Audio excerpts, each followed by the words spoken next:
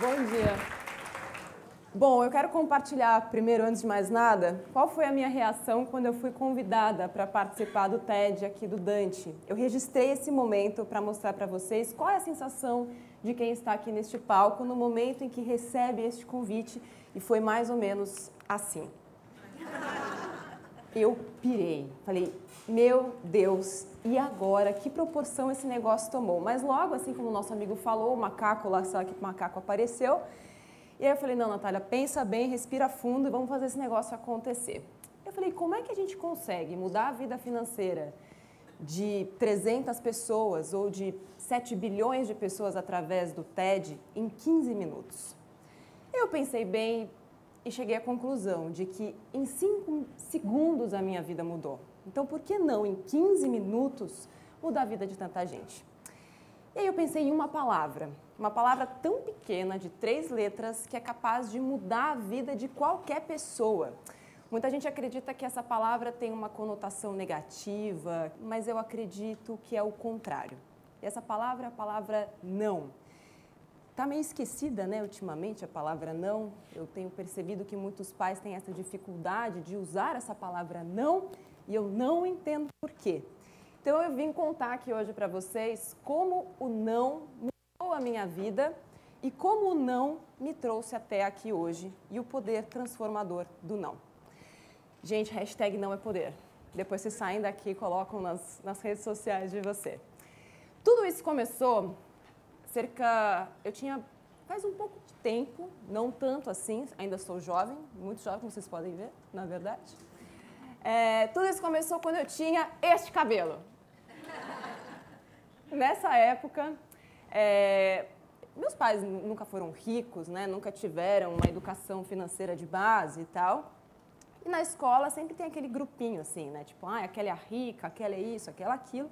E tinha a menina rica no meu grupo. Um dia a menina rica chegou pra gente e falou assim: meu pai fez uma poupança pra gente comprar um carro aos 18 anos de idade.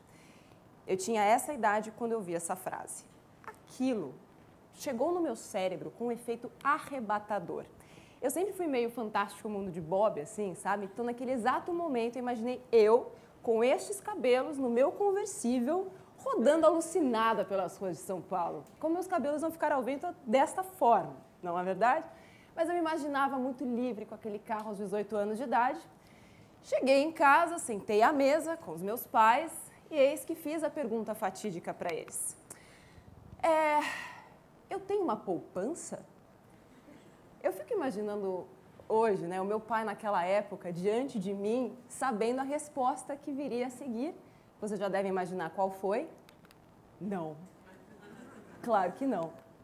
Meus pais. não, eu não tinha uma poupança. Aí naquele momento eu comecei a pensar: se eu não tenho poupança, também não tinha mesada. E eu queria tanto comprar aquele carro que, no fim das contas, não significava só uma questão financeira, não era só uma questão de dinheiro. Aquele carro significava liberdade, era tipo a concretização máxima do sucesso aos 18 anos. Eu ia ter meu carro, ia ser incrível. E, meu, como é que eu posso fazer isso? Tipo, esse carro era sonho de consumo naquela época, gente. Tá? Era o meu sonho de consumo, pelo menos. Era vermelho, era incrível, só não era conversível. Bom, Falei, bom, eu tenho, não tenho dinheiro, já descobri logo de cara que poupança significava dinheiro, e de vez em quando eu ganhava dois reais para o lanche, porque nem isso meu pai me dava, era de vez em quando dois reais. Falei, bom, dois reais? Eu nunca pensei no dinheiro assim, tipo uma nota de dois reais. Eu imaginava aqueles dois reais ou dez reais que fosse como um pedaço do meu carro. E aí começou aquele dilema logo na infância: dois reais ou o risoles gorduroso do Tião da cantina. Por sorte, eu pensava mais no meu carro, porque se eu tivesse comido gorduroso do Tião, talvez eu tivesse uma artéria entupida aos 31 anos de idade. Para minha sorte, o carro falou mais alto na minha cabeça. E assim eu me tornei o cofrinho de casa. De dois em dois reais, etc. Muito cedo eu comecei já a criar essa mentalidade de projeção, fazia contas, quanto que eu vou ter daqui a um ano, daqui a dois, etc. Porque afinal de contas eu percebi que tudo que eu mais tinha era tempo. e que o tempo relacionado ao dinheiro, ainda que para alguns parecesse pouco, ao longo do tempo ele se tornaria uma fortuna. E aí eu passava finais de semana, depois quando eu já estava um pouco mais grandinha e tal, saidinha, conheci o que era jornal e o que eram os classificados. E aí eu comecei a pensar qual era o carro que eu ia conseguir comprar se eu mantivesse aquela minha disciplina de guardar pouquinho em pouquinho dinheiro. E aí eu descobri que eu poderia comprar um bug, sim, eu ia ter o meu carro conversível. Yes! Naquela época meus cabelos já estavam um pouco mais lisos, eu mesma aprendi sozinha a alisar o cabelo, porque afinal de contas, quando você vai ao cabeleireiro fazer escova, você gasta o quê? Dinheiro. E aliás, esse foi o primeiro grande investimento que eu consegui fazer. Convenci meu pai, eu não tinha o meu carro, mas eu convenci meu pai a comprar uma escova e um secador. E desta forma, eu fiz lá um bem bolado com ele. Ó, cada vez que eu fizer secador, você me dá 10 conto, porque eu vou te economizar 30 reais no salão. Gente, Aprendam isso, tá? OPM, Others People Money. Simples assim. Enfim, eu descobri que aquele meu não significou o meu carro.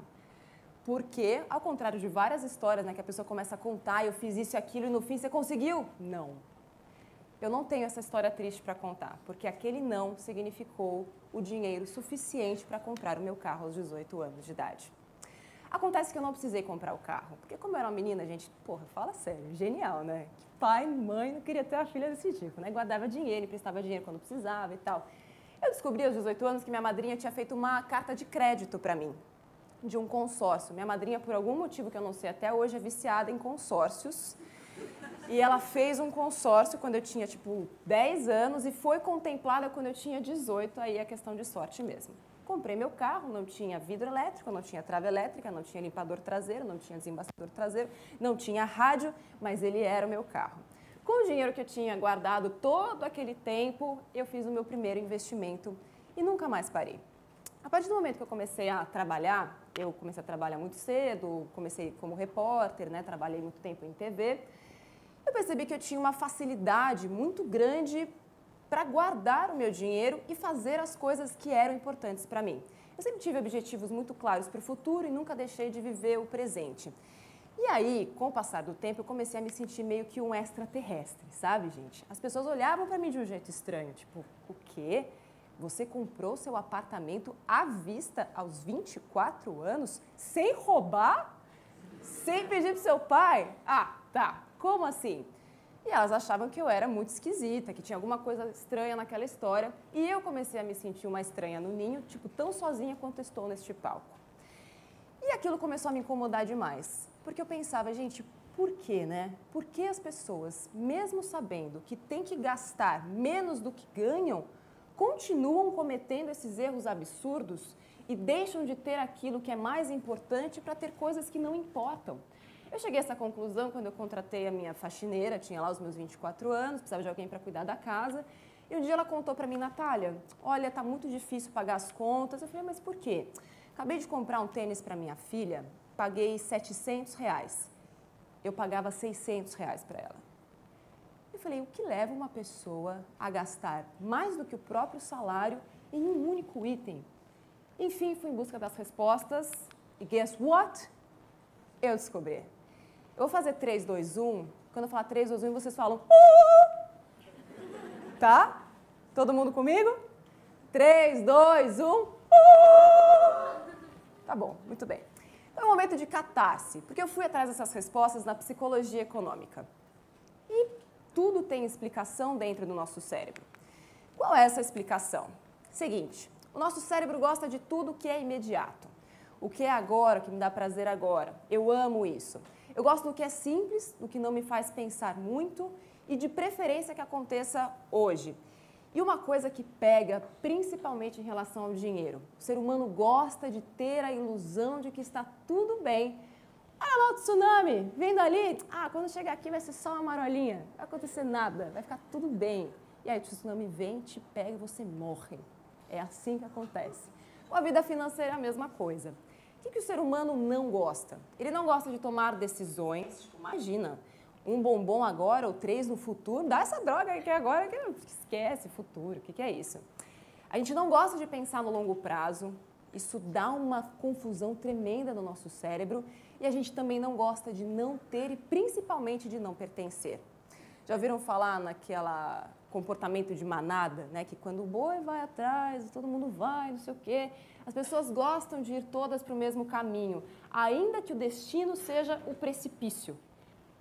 Por quê? Não sei. O cérebro explica. Freud explicava e está tudo aí, está tudo explicado. Beleza, fui investigar a mente humana e tal e descobri tudo isso. Hum, que ótimo. E o que, que eu faço com essas informações, na verdade? De que me adianta saber como é que funcionam os meus mecanismos cerebrais? Será que não tem como mudar isso? E aí eu fui atrás dessas outras respostas.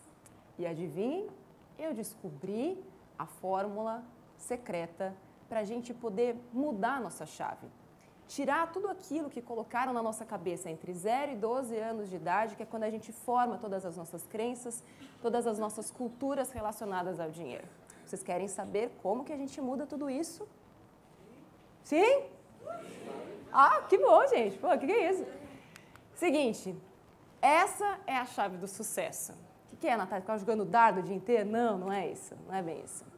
Eu descobri que o, o que me fez tão diferente das pessoas que estavam próximas a mim foi a minha capacidade tão precoce de ter metas, de ter alvos, de ter objetivos claros. E mais do que isso, a minha força interna que todos nós temos, que eu chamo de força T. Isso aqui não é um T comum, tá, gente? Vocês podem ver um T grande, que significa um tesão.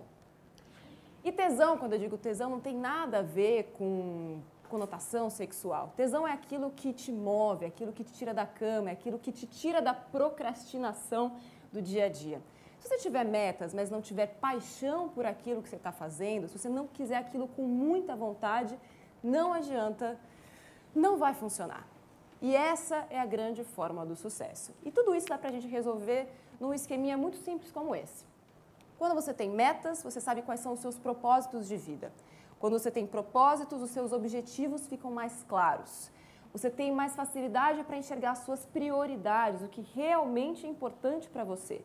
Quando você sabe o que realmente é importante para você, você gasta menos tempo e menos dinheiro com aquilo que não é importante. gente, é tão simples. Ah, que coisa, é tão fácil enriquecer, gente. O que, que acontece? Quando você descobre isso e gasta menos tempo e menos dinheiro com o que não é importante, o que acontece? Sobra dinheiro. E se você souber investir, cuidar do seu dinheiro, você enriquece. É simples assim. Bom, dito tudo isso, passaram-se quase 20 anos desde o meu primeiro não, até que eu cheguei ao meu segundo grande não. Eu era repórter da Rede Record, realizei meu grande sonho, porque eu tinha aquele objetivo de ser apresentadora e tal. Eu pensei, falei, poxa, as pessoas precisam saber disso. Tudo isso que eu descobri estudando de forma apaixonada, com muito tesão, eu preciso mudar a vida das pessoas. Cheguei para o meu chefe, lindo, maravilhoso. Falei, chefe, é o seguinte, nós vamos mudar a vida das pessoas, vamos usar esta caixa chamada televisão para fazer isso e vamos fazer um reality onde eu, que sou muito boa em mudar a vida das pessoas, claro, ensino as pessoas a enriquecerem. Vou pegar pessoas desesperadas e endividadas e transformá-las em poupadoras em quatro semanas. Ele falou, uau, que incrível, bote isso no papel, Natália, que gênio que você é. Beleza, Natália foi lá, colocou tudo no papel. Duas semanas se passaram, adivinha o que aconteceu? O meu segundo grande não da vida. Mas não era assim desse tamanho, não. Era um não deste tamanho. Era um não muito grande. Porque não só ele falou, não, Natália, não vamos fazer, como não, Natália, você não vai fazer, outra pessoa vai fazer a sua ideia, porque ela é muito boa. E naquele momento, com aquele não diante de mim, e por isso a força do não, o não é revolucionário, eu falei, beleza, ótimo, vamos buscar o meu sim. Foi que eu criei o blog chamado Me Poupe, onde a ideia era usar o entretenimento e o humor para transformar a vida das pessoas de uma forma que elas nem percebessem que estavam aprendendo. É tipo uma lavagem cerebral. Não contem isso para ninguém, tá? Esse blog começou a fazer um certo sucessinho, porque dentro de finanças é muito difícil você falar e quebrar esses paradigmas de uma forma simples. É, no ano passado, eu fiz um canal no YouTube, onde eu usava esses meus conhecimentos todos aliados a essa minha técnica incrível de falar com a câmera E aí o canal começou a ter uma certa relevância. Em dezembro do ano passado, recebi é, uma proposta para ser patrocinada por uma grande empresa. E enfim, eu pedi demissão da Rede Record para poder realizar o meu sonho, que é transformar a vida das pessoas através do entretenimento financeiro. E é o, o que surgiu de tudo isso e deste não que eu gostaria de mostrar para vocês agora. Hoje eu preparei três dicas básicas para você poder viver e economizar. Você não precisa abrir mão da vida para poder economizar. Esta é uma lenda de gente preguiçosa que não quer ter trabalho para poder economizar e viver. Primeira coisa que você tem que fazer para poder viver e economizar é saber o que é importante para você. Para mim o carro é importante, o futebol é importante, a cerveja é importante, os brother é importante. É tudo importante, já falhou. Tá de brincadeira. Falhou isso aí, me esquece. É esse tipo de coisa que eu tenho que ouvir. Então eu gostaria de deixar essa apresentação com uma pergunta para que vocês pensassem hoje mesmo. Por qual não vocês vão viver hoje? Pensem a respeito. Obrigada.